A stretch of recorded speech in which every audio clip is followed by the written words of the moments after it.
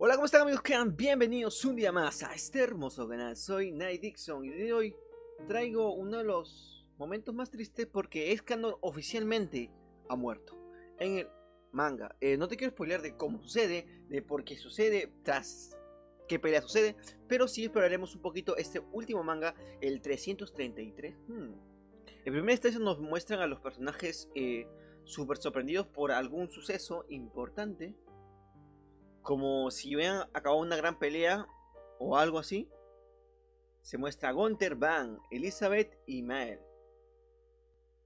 Pero después de tanta felicidad y tanta armonía, sucede algo bastante extraño.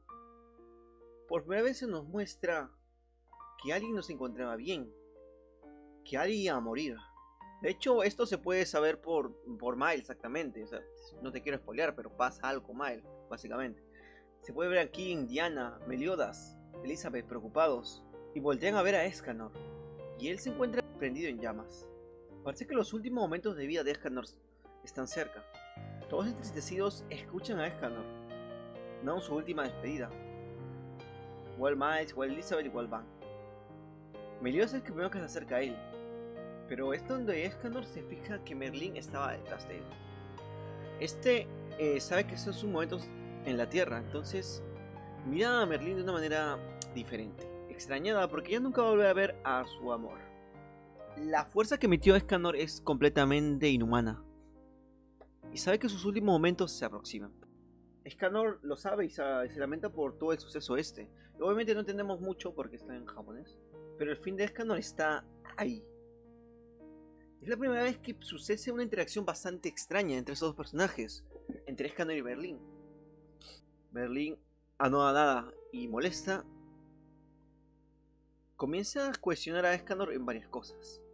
Y Escanor solamente le dice que gracias y le muestra una sonrisa. Mientras Escanor se va deshaciendo por el fuerte poder, Diana grita y se asusta. Las llamas los consumen.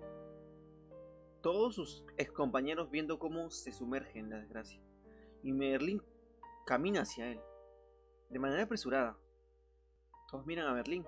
Nunca había actuado así ella. Y lo besa. Y es por primera vez que hay interacción de esta manera entre estos dos personajes. Berlín obviamente sabe que hace sus últimos momentos de escándalo en la Tierra. Y quiere como que complacerlo, ¿no? En esa euforia y ese fuego, Escanor, por primera vez. Mientras Merlín está besando, arden llamas, se quema la mano y parte del rostro. Y Escanor, triste porque quemó a su amada, decide acabar con su sufrimiento una vez e irse. Fue de manera efímera. Desintegra. Es ahí por primera vez que cae una lágrima de mis ojos y cae uno de los mejores personajes jamás creados. Escanor, león de los siete pecados capitales, el león del orgullo, perece tras la mirada de todos sus compañeros y del mismísimo, y del mismísimo capitán Meliodas. Por primera vez el cielo se tinta oscuro y se escucha en el cielo a las nubes llorar. El humano más fuerte por fin ha desaparecido. Si te gustó este análisis, entre comillas, no, no spoiler, eh, dale like, suscríbete para más contenidos y nada, un F por el bigote. Besito para todos, bye bye.